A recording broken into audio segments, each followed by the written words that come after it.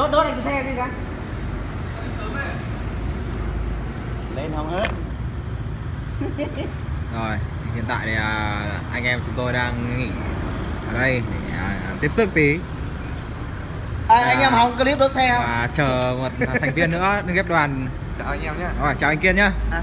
Còn lắm anh gặp. Có, anh có anh đi từ đâu đến đấy? để anh, ra anh uh, đi nhà xuống. Đi nhà bắc cạn anh. Có tí sao chở hoài vậy?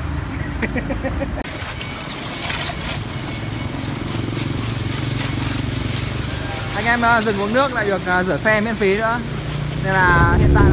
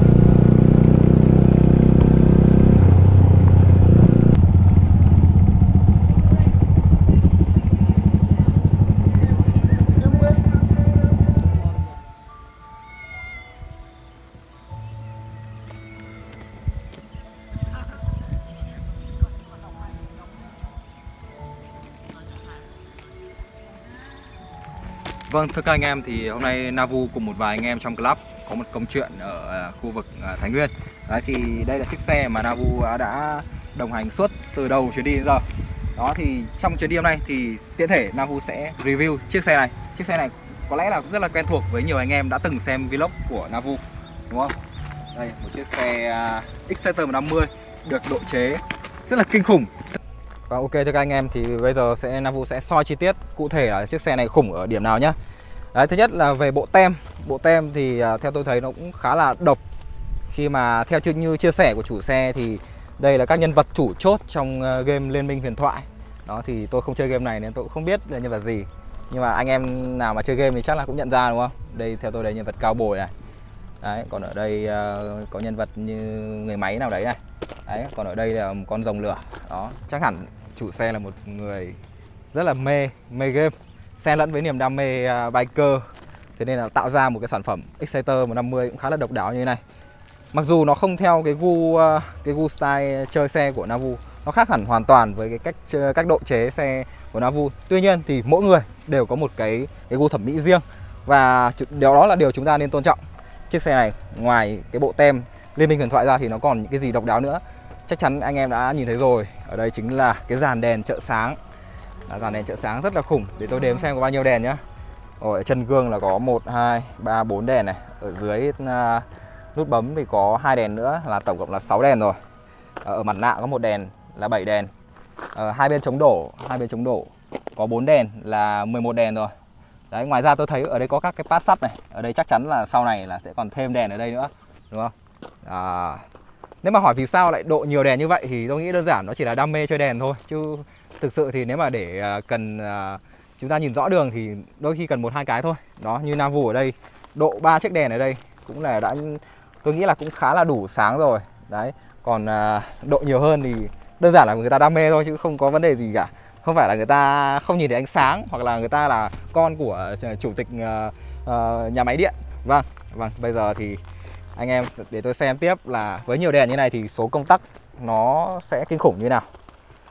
Công tắc ở đây ở đây tôi nhìn thấy là đầu tiên là ở trên trên trên à, dàn đầu này có công tắc. Ở đây có một cái đèn gọi là đèn chắc là đèn báo vô này. Đây công tắc zin vẫn có. Đây là đèn đây là đèn zin này. Ở đây tôi thấy một công tắc này. Đấy. Đây là một công tắc tiếp này. Đây. Đấy. Ở đây cũng có hai bộ công tắc ở đây chưa biết là bật đèn nào vì vì tôi chưa thuộc cái cái bố trí sơ đồ mạch điện. Đấy rất kinh khủng. Ở dưới này còn thêm à, uh, 6 cái công tắc đây nữa đều công tắc on off cả. Đấy, 6 công tắc tương tự như vậy. Đó rất kinh khủng. Có xem còn sót công, công tắc công tắc ở đâu không? Ở đây có thêm cái đồng hồ báo vôn nữa. Đây vẫn còn hai công tắc ở đây nữa. Nhiều quá anh em ạ. Đây, đấy nhiều công tắc vãi. Còn đâu nữa nhỉ? Chắc là ok đấy. Thường công tắc phải bố trí ở gần dàn đầu thôi bởi vì nó sẽ tiện cho việc uh, à, bật, sáng. Bây giờ tôi sẽ thử nhá. À, đây, nãy giờ tôi còn nói thiếu. Ở đây còn một cái đèn nữa đây là đèn à, bi cầu. Bây giờ thì à, à, để à, cho anh em dễ hình dung thì à, chủ xe sẽ bật à, một vài công tắc lên cho anh em xem để xem những cái đèn nào hoạt, hoạt động. Rồi. Wow. Đây là đèn hai đèn chân gương này. Bật tiếp đi. Đổi đổi đổi. Tiếp tục là hai đèn chân gương rồi. Đây là đèn ở phần chống đổ à? Đây là đèn, ô, đây là đèn vàng. Đèn màu vàng thì có tác dụng là để phá xương anh em nhé. Phá xương đi trong điều kiện sương mù. Vâng đây là đèn phần mặt nạ. Vậy là chứng tỏ là dàn đèn này đều có thể sáng lên được, không phải là đèn để trang trí đâu anh em nhé. Theo như à, trao đổi với chủ xe thì để à, có một cái dàn đèn khủng như này thì à, chiếc xe đã phải độ đến hai bình ắc quy này hai củ sạc thay đổi cả cuộn điện. Ờ, thưa các anh em thì có lẽ dàn đèn chính là cái điểm mà thu hút nhất trên chiếc xe này. Khi mà nó được độ với số lượng nhiều như thế, thì ờ, ngoài ra, chiếc xe còn được trang bị một cái bô cũng khá là độc, bô HGM rất là ít anh em sử dụng cái bô này. HGM đây, chiếc bô hiện tại không có bầu thì theo tôi đoán là âm thanh nó rất là rát luôn. Đây, anh em nghe thử nhé không, cái biển đấy ở giữa.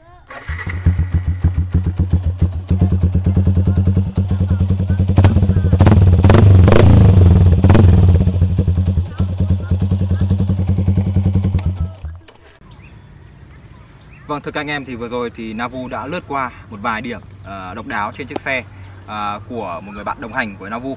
Thì uh, chia sẻ với anh em thì uh, chủ xe chính là admin của club uh, gọi là Exeter 150 Touring miền Bắc, một club mà Navu đã theo rất là lâu rồi và anh em xem vlog thì sẽ thấy rất là quen thuộc khi mà đây là club đã tổ chức rất là nhiều những cái tour chạy uh, khắp các cái vùng Tây Bắc mà Navu đã từng dựng những cái video. Vâng thưa các anh em thì uh, review ngắn gọn vậy thôi thì bây giờ để cho kịp cái câu chuyện của các anh em thì uh, có lẽ Navu sẽ tạm dừng moto vlog ngày hôm nay tại đây. Đó thì xin chào và hẹn gặp lại các anh em trong những hành trình kế tiếp. Xin chào.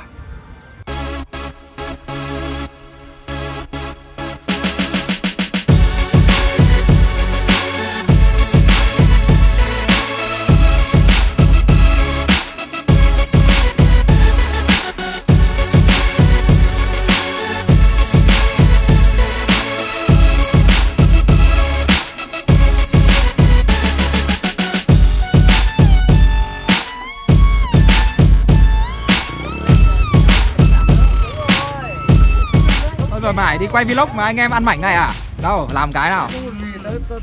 Để uh, nãy giờ đi quay vlog anh em. Ăn trước này. Làm cái nhá xin phép anh em nhá. Rồi mời tất cả anh em trên vlog nhá. Đây là xúc xích. Ăn nè ăn nè. Xúc xích rất dài và rất nhiều gân. Và hai quả cà chua. Rất nhiều gân. Đúng không